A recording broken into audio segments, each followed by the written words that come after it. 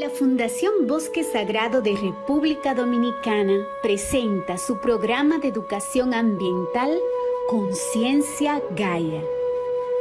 Difusión ecológica, educación en valores medioambientales, la protección de nuestra flora y fauna y el amor a nuestro planeta. Juntos cambiamos el mundo.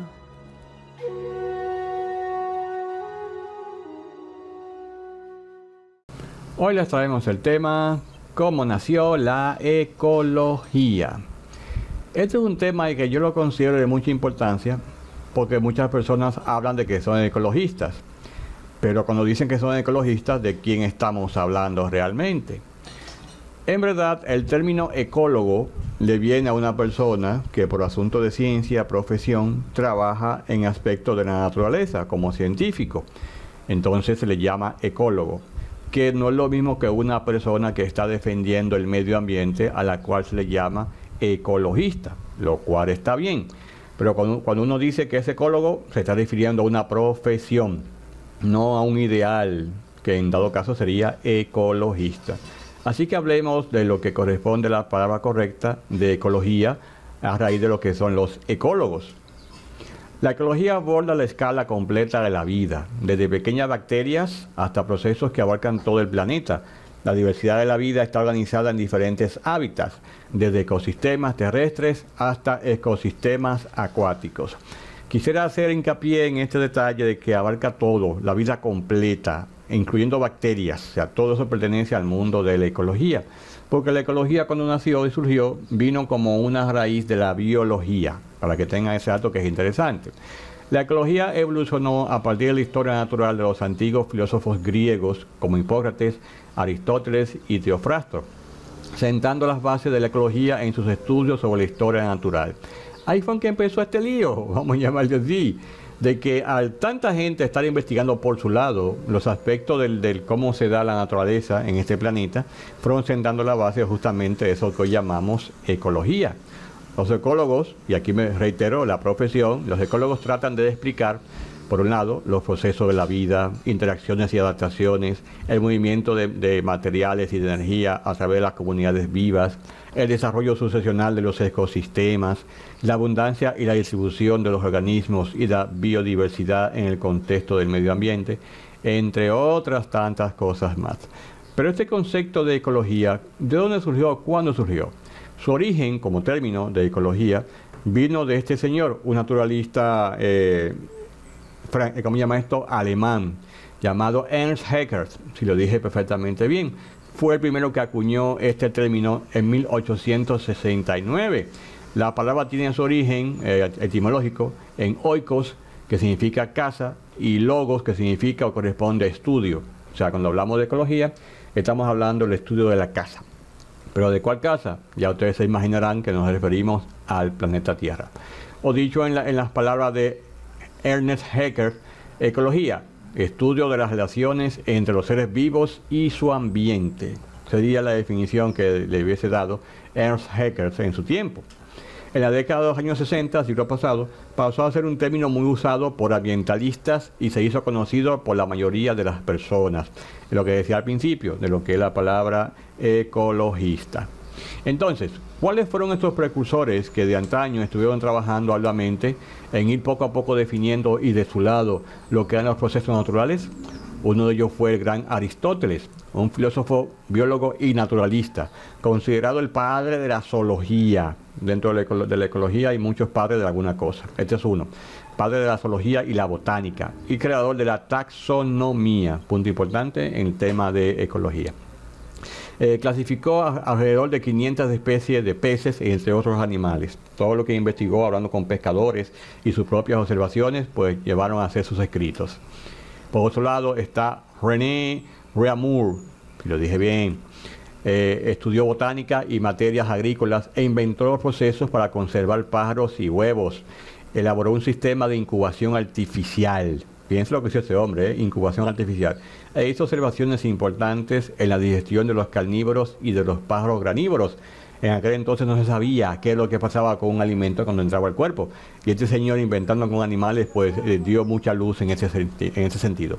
Entre otros hechos importantes expuestos en este trabajo figuran los experimentos que permitieron demostrar la validez de la hipótesis de Peisonel, que defendía que los corales son animales y no plantas que fue un debate eh, bastante interesante en el, siglo XVIII, que se creía que los corales eran, por ejemplo, plantas o eran piedras, pero no, no animales. Y este señor René eh, pudo demostrar lo que decía Peisonel con relación a que sí, que eran animales. Todo eso pertenece al ámbito de la biología y en este caso ecología. Anton van Leeuwenhoek, si lo dije bien, la historia de la biología lo considera precursor de la biología experimental, de la biología celular y de la microbiología a este señor. O sea, fue uno de los precursores de lo que se llama hoy día microbiología. Fue probablemente la primera persona en observar bacterias y otros microorganismos, descubriendo con esto a los protozoarios. Recuerden lo que decía al principio del tema, de que aún siendo bacterias, pertenece al mundo de la ecología. Y este fue uno de sus principales precursores. ¿Y qué decir de Alexander von Humboldt? Este señor también de origen alemán, un viajante extraordinario, viajó mucho en América Latina, investigando cosas del mundo natural. Fue el primero en considerar las plantas en relación con su ambiente. Miren por dónde andaba este señor.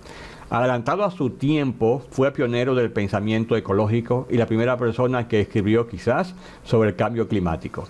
Miren que adelantado estaba Humboldt cuando le hablaba del cambio climático en relación a todo lo que estaba viendo.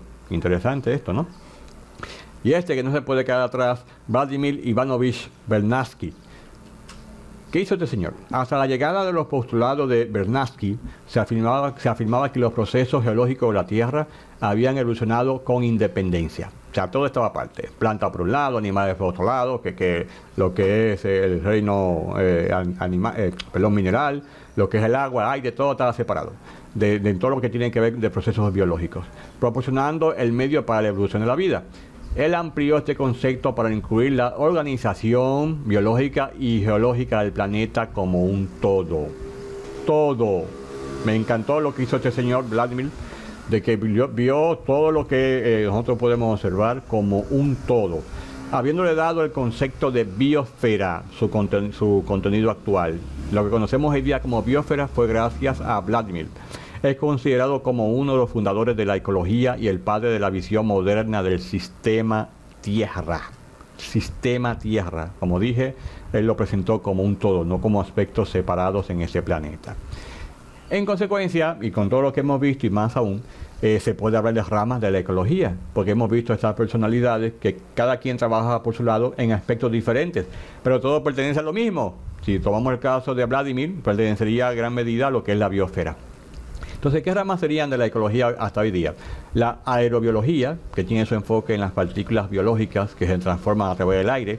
La ecología microbiana, como su nombre indica, estudia los microorganismos en su hábitat natural. La biogeografía se encarga de estudiar la distribución de los seres vivos en la Tierra.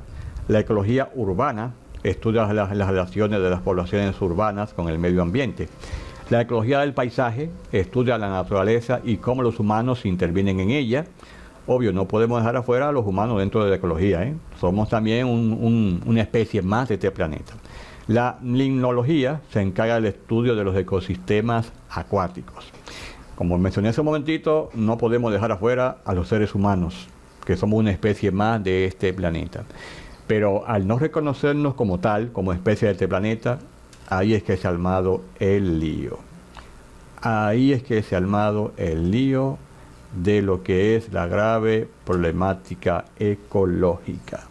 Que nos hemos creído que somos los dueños de este planeta, que en verdad no somos una parte íntegra de él, sino que tenemos el derecho de consumir todo lo que existe porque somos el top de todo lo que corresponde a especies, etcétera, etcétera, etcétera. Toda la tontería que ustedes se pueden imaginar, que hace posible que el ser humano, egoicamente, pues trate este planeta como ya ustedes han visto. Pero a Dios gracias, y esto fue ya más a raíz de 1960, como indiqué hace un tiempo atrás, eh, la gente empezó a hacer conciencia de que no es así de que en verdad nosotros pertenecemos a un planeta y somos parte de él, no somos su dueño. Y empezaron a darse muchos movimientos ecologistas, eh, más bien a, hacerse más notar, porque ya existían, pero de manera muy silente o eran poquito y todo eso. Pero ya a partir de esa década, los años 60, siglo pasado, la cosa fue más en serio. Y a Dios gracias se, se crearon y se han ido creando muchas instituciones, organismos o eh, apéndices de otros organismos que se encargan de defender eh, la ecología, el planeta Tierra, el medio ambiente, la naturaleza, buscando con esto preservar la vida en todos sus aspectos. Y a Dios gracias también hay que decirlo, se han hecho reuniones internacionales, como ustedes saben, con relación a lo que es la protección de nuestro mundo de mano del ser humano. O sea, todo esto que está acá no es para defender eh, a, los, a los gatos de los perros, no, es para defender al planeta de nosotros que hemos causado todo esto. En consecuencia, podemos decir y asegurar que eh, habiendo estudiado estos aspectos, estaríamos en el camino correcto de tomar ya la ecología como una, una especie de filosofía de vida de lo que uno sea una persona ecologista. No un ecólogo, como ya manifesté, si quiere la profesión sería un ecólogo, pero si es por defender la naturaleza y todo esto, hablaríamos de ecologismo o de ecología, o de una persona que es tendente a esto, porque este planeta Tierra merece de nosotros ese respeto por todo lo que hemos causado y tenemos que ser más conscientes de respetar lo que este es y lo que significa para toda la vida planetaria, incluyendo la de seres humanos, que sin este planeta no pudiésemos existir. Por lo tanto, ya es momento de que aprendamos a valorar, a respetar y a ser más conscientes de lo que significa para nosotros nuestro querido y amado planeta Tierra.